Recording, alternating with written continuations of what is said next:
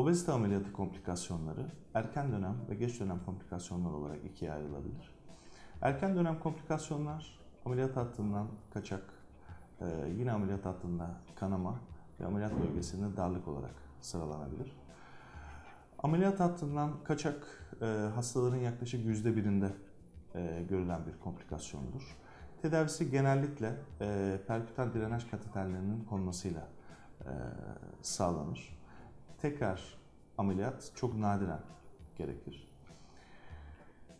Ameliyat yerinden kanama yine hastaların yüzde bir buçuk ikisinde görülen bir komplikasyondur.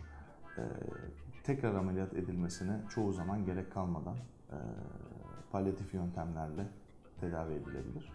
Ameliyat bölgesinde olan darlık hastaların binde beşinde görülen bir komplikasyondur ve endoskopik yöntemlerle tedavi edilebilir.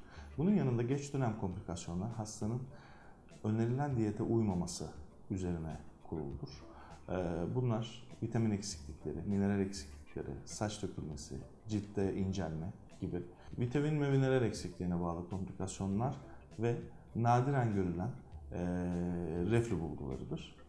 E, bunun yanında ameliyata bağlı olmaksızın hastanın mevcut sistemik hastalıklarına ve anesteziye bağlı komplikasyonlar da emboli, kalp rahatsızlıkları, akciğer problemleri gibi durumlarda görülebilmektedir. Tüm dünyada obezite cerrahisinden ölüm oranı yaklaşık binde 4 olarak bildirilmiştir.